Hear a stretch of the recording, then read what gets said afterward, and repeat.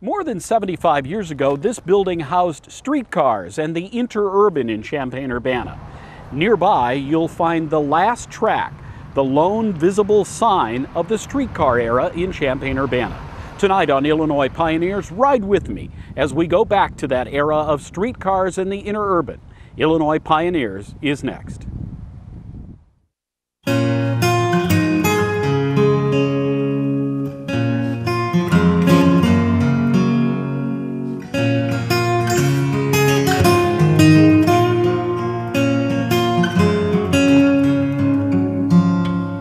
Hello and welcome to Illinois Pioneers. I'm John Paul. Tonight, with the help of a passionate streetcar historian, we'll look back at the days before buses and the plethora of automobiles when taking the streetcar and the interurban was the way you got where you needed to be. Welcome tonight to George Friedman, a retired computer science professor at the U of I and also a former member of the Champaign Urbana Mass Transit District Board who picked up his interest in streetcars, he says, when he lived in New Orleans, home of the historic and famous St. Charles line streetcars. And of course, uh, streetcars in New Orleans made famous by the film and play Streetcar Named Desire. Now, of course, he has a website and a collection of Champaign Urbana streetcar images. Welcome, Professor Friedman. We, we appreciate you for being here. You know, before we get uh, too far along in the program, I do want to take a rare look at some actual film, and I do mean film, of the old interurban rail cars rolling through east central Illinois. And if you would, George, tell us some of the things we will see here, uh, and we'll give you the monitor to look at. But what is it that these interurban vehicles were? There you go. They're passing through the Wabash station at this point. Well, an interurban relates to a streetcar the way a Greyhound bus does to a city bus. So that's basically Greyhound buses on on wheels, on, on rails. And this would be from about the 30s or 40s. Can you? Yes, about then. Um, the cars were painted what they call traction orange during the 30s and 40s. In the late 40s, they began painting them blue and silver, as you see here. So this is a later image. Um, the Illinois Terminal was the name of the interurban uh, in this area. Earlier, it was built as the Illinois Traction System. And these rolled not only within the cities, but from city to city, right? Yes, that's exactly, of course, what interurban means. And um, they were built in the first decade of the 20th century uh, in this area by William B. McKinley who is well known as a, con- as a um, congressman, served a term as a senator, and, um, and, a, and was quite a philanthropist. We see his name around Champaign Urbana. The McKinley name we see is, is his, not President McKinley's name. That's right. Why the fascination with streetcars? Everybody must ask you that. well, I was born in New Orleans, raised in Shreveport, Louisiana, and then went back to New Orleans for uh, college at Loyola University. And the St. Charles streetcar, which is the oldest continuously operating streetcar in the entire world, runs right down the front door of Loyola University. So I rode it as a transit system uh, day in and day out. And uh, I began wondering, I'd see little bits of track in the street, no longer a functioning track, but still there.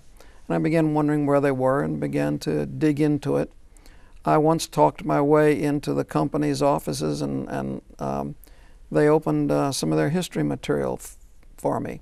I told them I was writing a paper.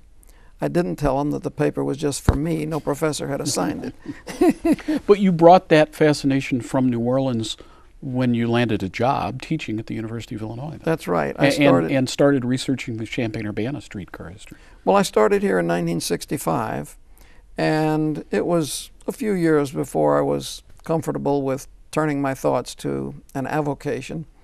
Um, but in the early 70s, I began, as you say, I began digging into the local streetcar history. Now, if you walk into one of the public libraries and say streetcar, they say George Friedman. and they will, they would if they uh, Googled uh, both either your name or streetcars or Champaign Urbana streetcars, your site comes up. Well, let's see how this all gets started. This actually gets started about the time the city of Champaign is incorporated with uh, really some horse-drawn tracks. And what are we looking at here? This is a, a plat map, I think, for what was called the horse cars. Is that right? This is a plat map. The first street cars in this community were built, um, were, were run from Urbana to Champaign, from the courthouse to the Illinois Central Depot, which was called the Doane House. It was on the east side of the tracks. right about where the Champaign Police Station is today. Uh, um, in that area, yes, sir.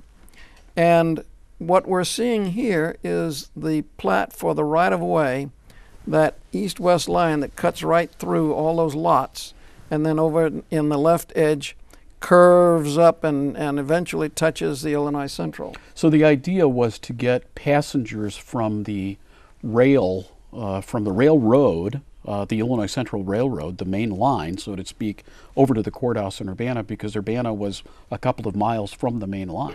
Yes, about two miles. Passengers and freight, by the way. So- if you were a businessman and you had a shipment coming in, you could take that shipment by accepting a box car that would be pushed into the siding here. You would take a team, hook it up to the box car, and haul it over the tracks to a siding. So it was actually business. horse drawn at this point. Of course, Everything electricity's not around. That's right. So we're, talking, the about 1860s. 1860s Yeah, at this point. 1863. Let's go to our next image here, and you see more of a bird's eye view of Champaign Urbana at this point.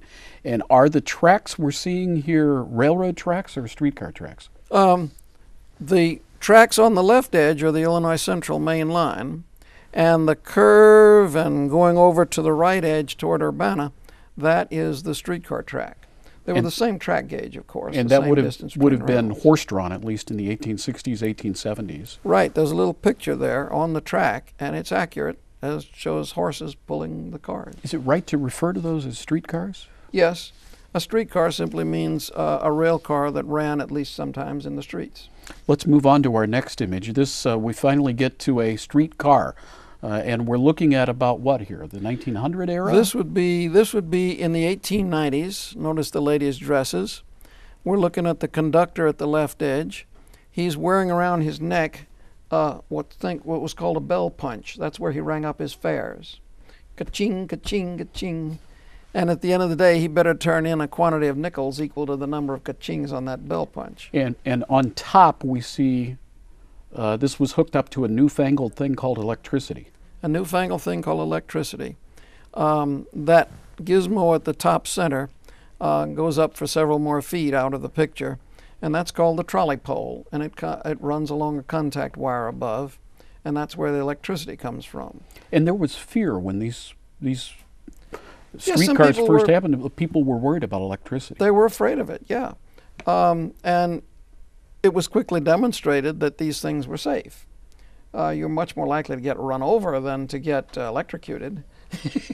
Eh, but the electricity didn't actually pass through the car itself, but it did have to get down to the traction part to make the wheels move. The electricity passed from the wire to the trolley pole, and then wiring inside the car led it to the motorman's controller on the platform, and ultimately to the motors, which were mounted on the axles of the trucks, and then the return circuit. Remember, you've got to have two wires for electricity. Well, there's only one wire up above. The return circuit is through the rails. but not the same way we think of the third rail, so to speak. In No, a third rail, such as used in the Chicago L system, is the power rail, and they use that instead of the trolley wire up above. above. The return circuit is still through the running rails. So electricity comes in about 1890. Streetcars become more popular by the 1890s. Oh, yeah. Um, streetcars, Frank J. Sprague um, solved all the problems, or most of the problems, of, of electrifying streetcars in 1888 in Richmond, Virginia. And it just blossomed all over the country. Peoria had them in 1889, Champaign had them in 1890, and all over the state. How many cars are we talking about in Champaign Urbana? Cars like this? I mean, dozens or? Um, a few dozens, yeah. Um, eventually, this was the second car in town, by the way, number 11. They and let's move on to 10. number 12, which is our next image. This is, you said, along 3rd Street. No, this is along in front of Engineering Hall, along So Green this is on campus. This is on campus. And notice that um, it's running on grass on, on rails that are laid in grass. The street is out here toward you from that. And the guy in front is the motorman or The the, guy in front is the motorman, and the guy on the back step, um, just in front of the, the telephone pole, is uh, is the conductor. And this is about what era? This would be 1890s. 1890s. This is a very early picture. Uh, so, and, uh, and trolley cars, uh, we call them trolley cars, street cars, ran through the heart of campus. Oh yes, um, this ran through Green Street. Later, beginning about 1908 or 9, they actually had a line that went right across the middle of the quad where the bicycle path is Today, today. there's a bicycle path across Yeah, the that's middle the quad- place. between, uh, I think you said administration and English building. Uh, between uh, Henry Administration on the one side and Noyes Lab on the Noyes other. Noyes Lab, yeah.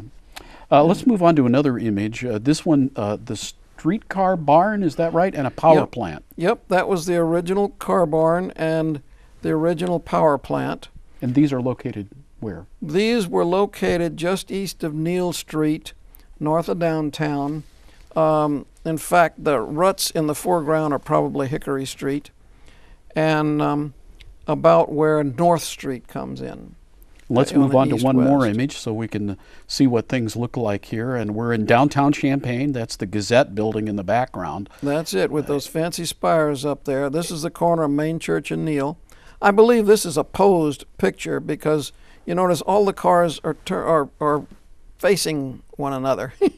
So you think they said stop and we'll take a picture? I think so, yeah. I also don't see a lot of movement of people. I don't know that it was photography is sophisticated at that point. By 1894, in the next next image, uh, we see uh, uh, a shot, and this is where? This is Third Street from the corner of John. This appeared in a thesis that I found in the engineering um, library at the university. Uh, and the purpose of the picture was to illustrate the steepest grade on the entire system. Third So Street from John down to Green. Champaign Urbana being pretty flat was good for streetcars. Very, very good. Yeah. The next image is an interurban map from 1894. And again, uh, what you see left of center is downtown Champaign, and the tracks running north and south are the Illinois Central. The rest we see are streetcar tracks. Those are streetcar tracks, yes. Uh, we don't actually see the interurban yet. Uh, this is all city streetcar. There was a line down here at New Street, a line on Church Street, um, a line up to the car barn at the north, and a couple of loops over to the campus area, And on the far right, how far east did it go at this point? uh, only to um, the Wabash crossing on East Main Street. And in our next image, we see uh, car number 13. Yeah, they weren't superstitious. U of I band concert, I see. So there was advertising. Yes, in fact, with that sign, I was able to date this picture at 1894.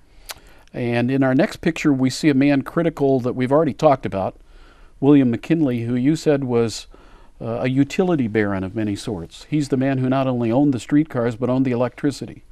Ma- McKinley started out being interested in the local utility systems. He had the waterworks. He built the first power plant. Uh, this is while he was a fairly young man, about 1890. And he began thinking, well, what other ways can we use electricity so I can sell more of the stuff? And streetcars was the obvious answer because Sprague's work was just just passed. So he bought the horse car system from um, from Mr. Jakes, who had owned it uh, for a number of years, and um, began to electrify it. Um, he eventually built it up into an interurban system, which connected Danville, Champaign Urbana, Decatur, Springfield, and on down to St. Louis, plus up to Peoria and Bloomington. So all that. Transportation baron in many ways then too. Oh yeah. A- And all privately owned at this point. The transportation system at that point is not like we think of a mass transit district today. That's right. Uh, transit was, was a privately owned thing.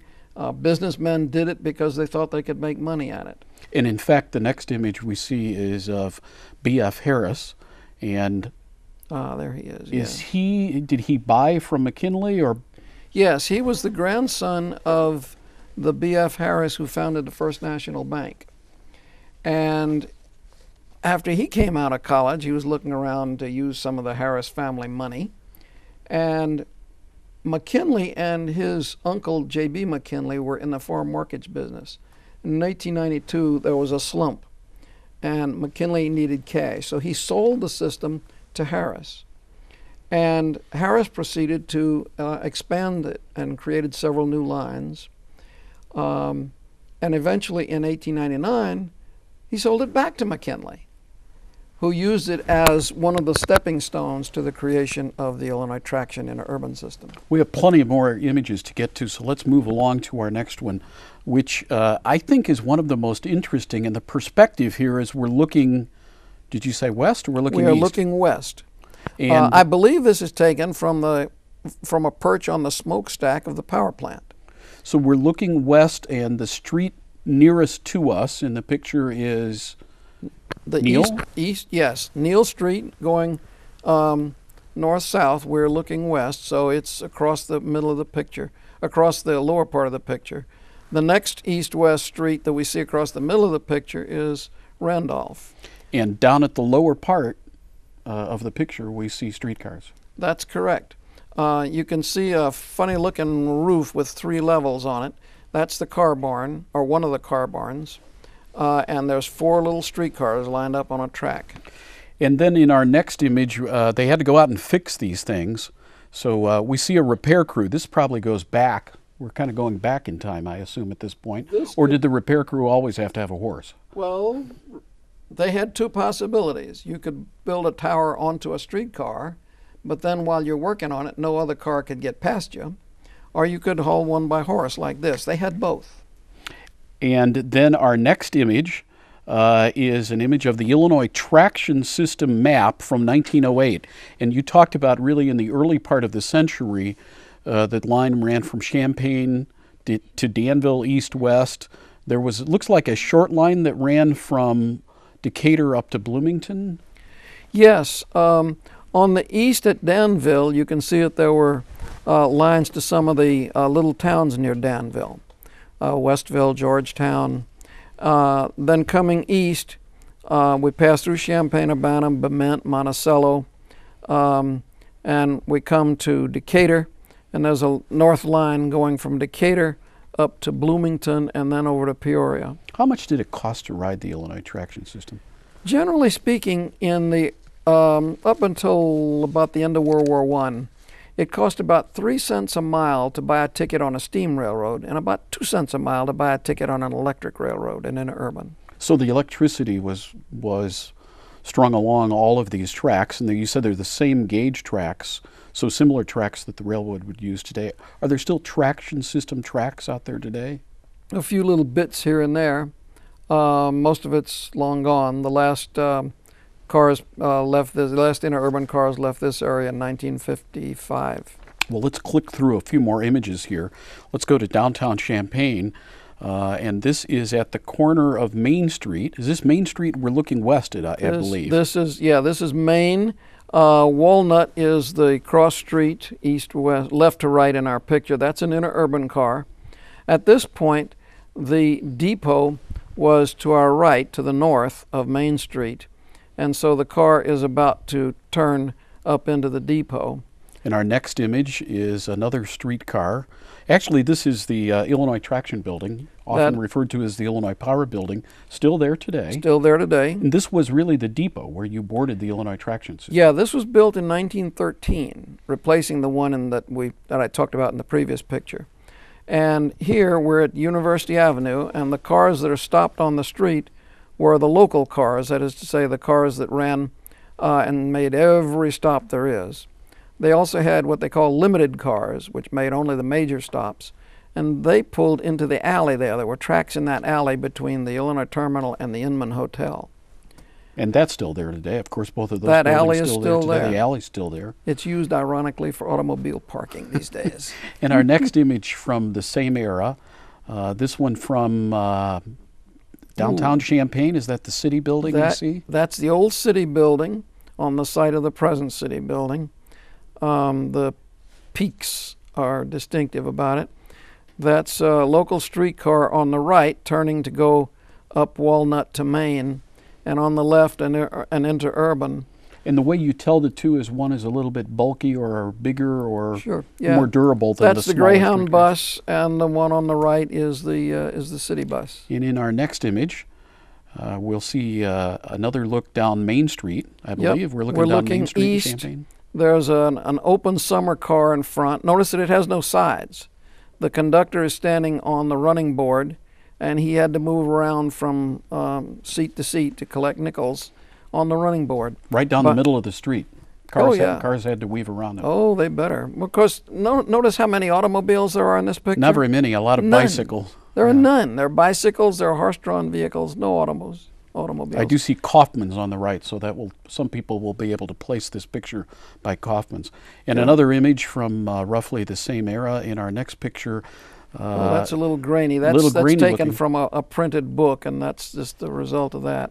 in our next image, uh, we'll see yet another picture. This is very oh, open that's a car. beautiful one. That is probably an ex-horse car. It's being used as a trailer. It has no motors, no trolley pole, but you see a, um, a coupler in the, at the right front. And then I see in my next picture from about 1910, uh, we're actually seeing the Hickory Street. Is that what this is? Hickory, The Hickory Street car barn, the east-west street, excuse me, the north-south street that we're seeing left to right, that's Hickory Street, and it's just a, a Building's still road. there today. Building is still there today. Sports Publishing had been in that building. It's it's going through about its third or fourth um, major um, different purpose, but it is still there today. All the big doors have been bricked in. Even that pretty circular window has been bricked in. But you can still, still see remnants of the circle and still see remnants of the of the barn, so to speak, the garage barns. Yeah, and This- that distinctive roof. You can This, still this see next picture is probably my favorite picture. Uh, this comes from the IC platform. That's University Avenue, east and west, and people either waiting for streetcars, waiting for a taxi, because apparently the IC has just arrived. Yeah, that's a that's a great picture. Um, didn't get that one from me. I like that. That's a terrific Um, photo. I can see that uh, the route sign says short line, which just ran from Champaign downtown to Urbana downtown, And and, our and, ran right under the underpass. Our next image uh, is these things were big and dirty, so you had hard-working men fixing them in Yep. a car shop. This is this is the uh, shop. That thing on and in the center of the picture on a on a hoist is a motor, and there's another motor over on the right next to the man standing on the right. In our uh, next image, we see a map, again, of the streetcar system. You said you put this together from three separate maps, and uh, we see a lot of lines here. Yeah, this uh, this shows both the interurban and the and the city, um, but mostly we can use it to see the city lines. Um, the interurban went out West John Street, uh, went from University Avenue down Neal to to John and out West John Street, and on the east out East Main Street, Urbana. So as they plotted these lines, they were going to the popular spots and going down well-traveled routes Oh, sure, to and that's a, parks or neighborhoods. or That's a principle of, of uh, transit, Transit today. service today. You go where the people are and where they want to be. I, I like this next image too. This is uh, from uh, Neal Street, uh, downtown again. You see the Kresge store uh, behind, uh, and this is the corner of Neal and Main. That's an interurban car making Yep. a turn, and you said it might have even been posed photo too. Uh, I think it was just a lucky photographer, to tell you the truth. This is easy to date because if you look at the right, you see the present city building not complete. So this is 1935. 1935 or 36, yes. Just a couple This is one of the two longest cars on the system. just a couple of minutes left, so I do want to get through about five more images. Uh, we have next the cover of a timetable from, and there was freight service for the Illinois Terminal Railroad. It converts from the traction system to the terminal system in. In the late 20s. Uh, by the way, what what caused all of this to end? The car The automobile. and Um, buses? Um, well, the automobile. They even put buses out of business. Um, the, you know, once people got used to just being able to hop in the family flivver and going wherever you wanted and whenever you wanted, who wants to wait for schedules? Who wants to stand by the side of the road and wave for a and, car? and it's interesting. Yet today we hear discussion of a possible tram system coming into many cisti- cities, which is really going back to a to a streetcar type of, of transit system. Yeah, there's a lot of advantages to putting tracks down. Uh, flexibility is not one of them, but uh, stability is one of them. People look at the tracks and they say that's going to be there for a while. And I know where it goes because I see where the track goes. And the biggest thing is you can carry more people. You can just carry so many in even an articulated bus, but you can't make an articulated bus much longer or you can't control it unless you put it on rails. Then you can control it. Streetcars died out about what year? Well, in Champaign Urbana, November the 10th, 1936 was the last day of streetcars. And the interurban in the 50s? The interurban in the mid 50s, 1955. And very few remnants that we can see. At the beginning of the program, we showed the last visible sign of streetcar track in Champaign very few things of that nature that we see, no overhead wires or anything like that today. No, the wires are long gone. Thank, thank you very much for being with us tonight. That's it for this edition of Illinois Pioneers. Again, our thanks to our guest, George Friedman, tonight, and of course, thanks to you for watching tonight. Be sure to join us next time for yet another edition of Illinois Pioneers. Good night.